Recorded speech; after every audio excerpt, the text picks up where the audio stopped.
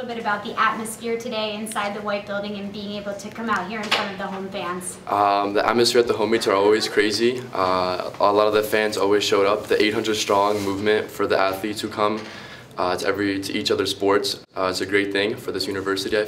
Uh, and I feel I feel like as if it was a big help for us. Uh, it gave us momentum, and we ended up with the win today. So I'm thankful for that. For some of our fans out there who might not know a lot about that 800 strong uh, student athlete uh, campaign that you just talked about, tell a little bit about you know what that is and what it means to you guys.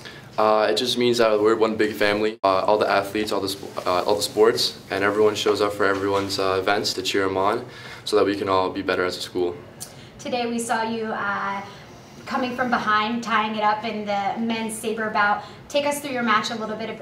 Uh, so we were coming back from behind, um, but the but the fan fans, the atmosphere, it was just pushing us the whole way, and I, I had my teammates behind me, uh, and we just pushed through. It was a, it was an amazing experience.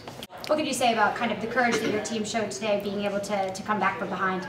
Uh, yeah, it shows that we have uh, great courage. Uh, Columbia is a very strong team, as you mentioned, back-to-back NCAA champions. So to come in here uh, and get this win for us is a big is a big deal, and I'm just uh, very grateful. It was such a wild atmosphere, competing at home. What was that like? Uh, it was just incredible. Like I visited last year during the home meet because I just transferred in, and it's a totally different feeling. You know, just having everyone behind your back. Like that last bout, um, I, I don't know if I could have done it without him. I knew like this is our house. I can't I can't lose this one, especially with the team that relied on me and everything. So um, we start off with Andrew, our captain, bringing us back in it, and then you know Karol knew what he had to do, and then I went on there, and I just did what I had to do. As we saw you out there, you know, clinching the win for the team, take us through that bout. Uh, it's just a lot of a lot of mixed emotions. Just like a little nervous. Obviously, I had the team rely on me. Everyone's watching me, but it's just great that everyone just ran over uh, to support me all that. I knew going in, like, I, I have to do this not only for me, but for the team. And um, I, I just couldn't lose in front of a great audience like that. What were your teammates and coaches saying to you before you stepped up there to compete? Well, my coach was Glon. He came up to me. He said it's all on me. You know, he said he believes in me and all that. And um, he he was just excited. And uh, everyone was pumped up. Everyone was you know patting me on the back, telling me to calm down, but also you know fight as hard as I could. And that's just what I did.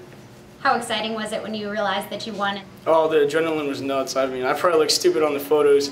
I probably made really ugly faces, but uh, I don't care. I was just so happy that I could do that for everyone. You talked a little bit about your captain uh, coming in before you, but you know, what type of momentum did that give the team?